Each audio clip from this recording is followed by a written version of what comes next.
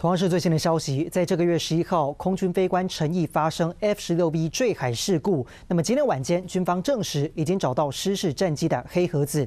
空军司令部表示，寻获失事战机 F 十六 B 的黑盒子会交由专业的单位来分析。同时，感谢各界对于本案的关心以及协助。